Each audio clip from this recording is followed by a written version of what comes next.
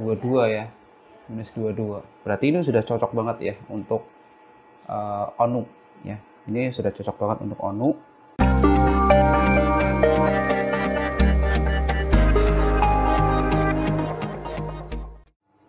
Halo apa kabar? Berjumpa lagi dengan saya Pak Eko. Kali ini saya ingin menunjukkan ke teman-teman semua bagaimana mengaplikasikan topologi jaringan OLT yang sudah saya share di video sebelumnya yaitu tentang topologi jaringan EPON menggunakan OLT Hioso. Saya tunjukkan beberapa alat yang sudah saya siapkan. Ini ada router Totalink N300RT ya. Ini sudah dimodifikasi menggunakan sudah dimodifikasi PoE ya PoE in 12 sampai dengan 28 volt ya.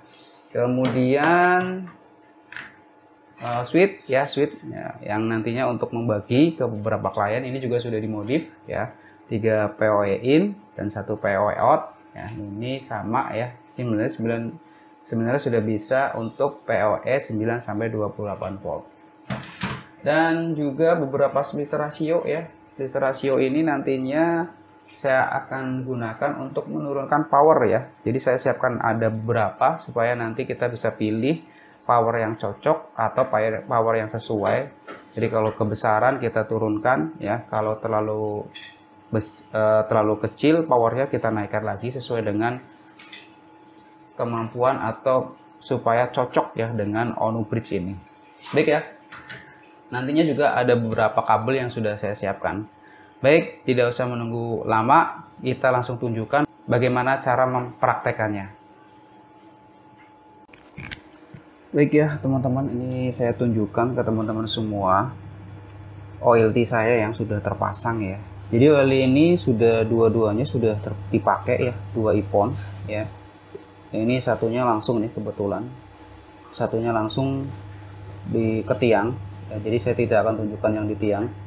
Ini nah ini yang saya tunjukkan yang ke dalam aja nih ya. Ini menggunakan kabel kuning. Nah teman-teman bisa lihat ini uh, kabel kuning ini cuman ada roset aja ya ini gulungan aja ya. Nah dia masuk ke splitter 1 ke 4 ya. Masuk ke splitter 1 ke 4 nah ini baru ke tiang lagi nih ya.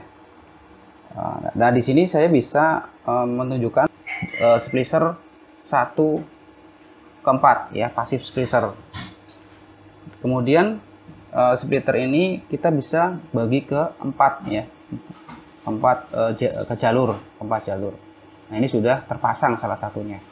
Nah kita bisa coba lihat jalur yang tidak digunakan di sini ada tiga. Ini bisa kita pakai lagi. Ya. Saya siapkan kabel. Ini kebetulan semuanya saya menggunakan masih menggunakan manual ya. Pas konektor semua. Ya jadi kemungkinan kualitasnya memang tidak sebagus kalau menggunakan splitter ya. Ini saya tunjukkan hasil output power ya. Setelah keluar dari splitter 1 ke 4 nah ini ujung satunya lagi. Saya akan tunjukkan ke teman-teman hasil output powernya.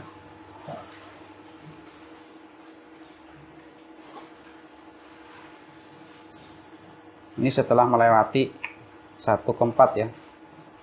Ini ada 0 minus 0 3 ya minus 3 ya minus 3,4 nah, ini aktual di lapangan ini seperti ini ya setelah OLT Hyoso melewati splitter ya, splitter 1 ke 4. Nah, ya. Ini salah satunya sudah dipakai ya.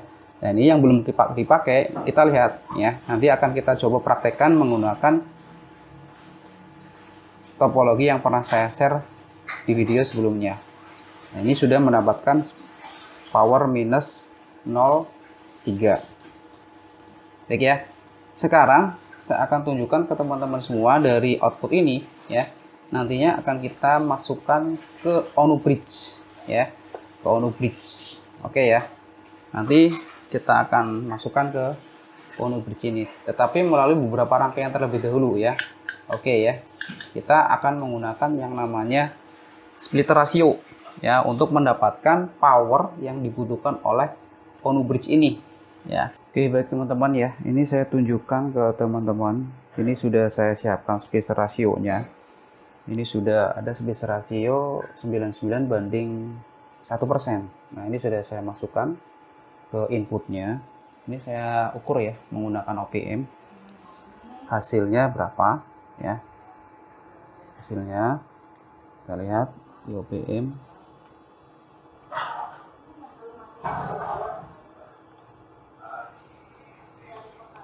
nah ini teman-teman. Ini hasil split rasio. Ini minus 22 ya. Minus 22 berarti ini sudah cocok banget ya untuk uh, ONU ya. Ini sudah cocok banget untuk ONU ya. Dan untuk yang satunya lagi yang 99% ini nantinya bisa kita salurkan lagi ke ONU berikutnya ya. Atau ke ODB berikutnya ini masih besar. Sekitar ya minus 4 ya jadi ini masih besar. Bisa kita distribusikan ke OTP berikutnya atau ONU berikutnya. Nah sekarang kita siapkan ONU-nya teman-teman. Ya kita siapkan ONU-nya jadi untuk power sudah ready ya. Sudah siap uh, sesuai dengan yang dibutuhkan ONU sekarang kita rakit ONU-nya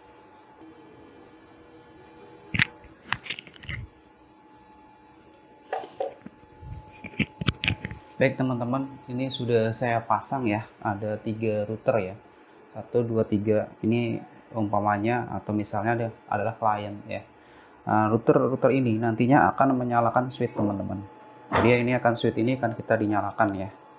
Jadi seperti ini, dia masuk ke in ya, menyalakan switch ya, seperti ini ya, menyalakan switch.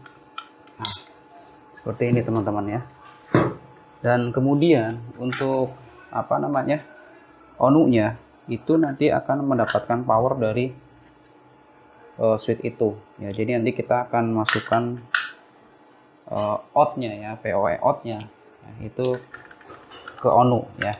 Jadi dari switch ini ya dari switch ya dari switch itu saya pasang kabel seperti ini ininya nanti akan menyalakan si ONU ya cuman kan all ini kan gigabit ya teman-teman. Jadi nggak bisa kita modif PoE jadi kita pakai bantuan PoE injektor. Nah PoE injektornya ini lain teman-teman. Jadi uh, saya menggunakan step up ya. Karena apa? Karena nantinya power dari switch itu tidak murni ya 12 volt. Karena sudah ada beberapa rangkaian uh, ada diode di situ. Dia menurunkan tegangan sekitar 1 volt. Jadi saya naikkan lagi kebetulan adapter-adapter untuk routernya itu menggunakan 12 volt. Ya e, ini bisa kita cek ukurannya ya. Kalau power dari switch ini ya switch itu berapa sih? Ya jadi supaya nantinya kita stabilkan arusnya. Itu menggunakan step up jadi kalau secara langsung ya itu 10 volt teman-teman 10,8 volt. Jadi supaya stabil saya menggunakan uh, modifikasi ya eh, PoE splitter ini ditambahkan dengan step up ya. Jadi nantinya diharapkan powernya sesuai dengan yang dibutuhkan oleh ONU agar uh, ONU-nya itu nanti stabil ya teman-teman. Nah ini saya pakai step up ini sudah diukur sekitar 11,6 ya ini berdasarkan dari ukuran kalibrasi voltage-nya ini saya ukur sudah 11,6 itu sesuai ya dengan adapter asli dari ONU.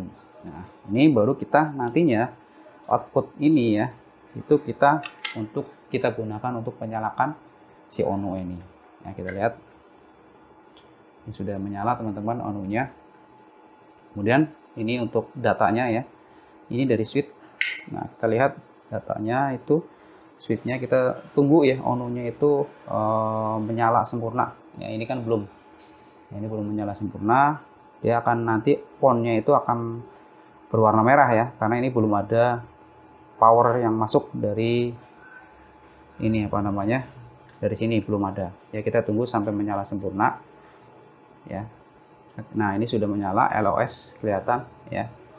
Uh, LAN-nya juga sudah menyala teman-teman LAN ya LAN di switch juga sudah menyala teman-teman. Ya. alhamdulillah si switch juga menyala. Ini ada 1 2 3 4 ya. Jadi tiga dari router ya.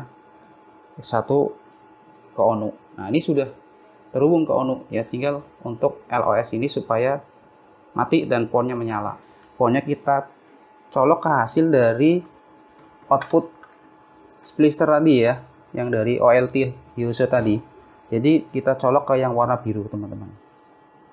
Yang warna biru kita buka dulu ini. Ya. Kita colok yang warna biru. Sini teman-teman. Oke ya. Ini teman-teman bisa lihat ponnya sudah mulai menyala ya. Artinya ini sudah ada hubungan ya. Sudah ada internet ya teman-teman ini sudah ada internet di router-router yang sebelah sana ya. Baik ya teman-teman seperti inilah ya bagaimana cara merakit atau mempraktekkan topologi mix ya antara OLT dengan switch ya. Jadi kita tidak perlu merubah jaringan kita sebelumnya yang menggunakan switch. Cukup kita backbone-nya saja yang dirubah menggunakan ONU ya ONU bridge ya bridge ini sudah kombinasi dengan split ratio ya jadi bisa saling paralel Untungannya apa? Dengan kita menggunakan ONU ya. Splitter yang ini nantinya akan menuju ke ONU yang lain ya. Itu kalau ini mati oh, untuk yang uh, onus berikutnya itu tidak akan mati ya beda dengan HTB. Kalau kita menggunakan HTB udah pasti ya. Eh, HTB yang ini mati, yang sebelah sana akan ikutan mati. Kalau ini enggak ya. Nantinya yang ini sudah memiliki power ya masih besar tinggal nanti dihubungkan ke onu-onu berikutnya ya. Tinggal teman-teman nanti rakit ya supaya ini ya split rasio dan switch itu jadi satu ya ini jadi satu teman-teman ya. Jadi satu supaya masuk ke dalam satu OTP sedangkan router-router ini itu nanti posisinya di klien ya. Klien satu klien dua dan klien tiga ya oke. Jadi ini yang nantinya akan dijadikan satu di dalam satu OTP switch ONU split rasio dan ini ada step up ya. Ada WO splitter step up dan kabel. Mungkin ini kabelnya nanti bisa nggak usah panjang-panjang lah ya. Ini dari PO out speed nanti kabelnya bisa dipendekin aja. Ya atau bikin sendiri ya. Nggak pakai PO injektor ya. Langsung krimping-krimping ambil kabel untuk powernya. Kemudian langsung pasang cek power seperti itu. Jadi terserah teman-teman ya bagaimana cara untuk merakitnya itu sebenarnya ada beberapa macam cara. Ya silakan. Nanti bisa dipraktekkan di rumah. Baik teman-teman semua, itu tadi sudah saya tunjukkan ya bagaimana mempraktekkan secara langsung topologi jaringan OLT iPhone ya menggunakan on bridge ya, kemudian fix dengan switch ya. Itu cukup mudah ya teman-teman. Ini bisa menjadi solusi bagi teman-teman pada saat menggunakan jaringan HTB yang yang bermasalah di power ya bisa misalkan di titik yang satu mati yang satunya lagi ikutan mati tetapi dengan menggunakan jaringan OLT ya walaupun teman-teman masih mempertahankan router-router lama dan switch-switch yang sudah ada itu karena ONU menggunakan ONU ya ONU mati itu untuk jaringan titik berikutnya itu tidak akan ikut mati. Karena kita menggunakan yang namanya OLT ya OLT itu seperti point to multi point ya atau sebenarnya bisa aja dibikin point to point ya tetapi mungkin akan sangat boros dengan kabel yang sangat banyak. Baik teman-teman. Itu saja yang bisa saya sampaikan. Mudah-mudahan video ini bermanfaat ya mohon maaf apabila ada kekurangan jangan lupa untuk yang belum subscribe silahkan subscribe dan tekan tombol lonceng untuk mendapatkan notifikasi video terbaru dari saya. Dan jangan lupa untuk like, comment, dan share jika video ini bermanfaat. Terima kasih jumpa lagi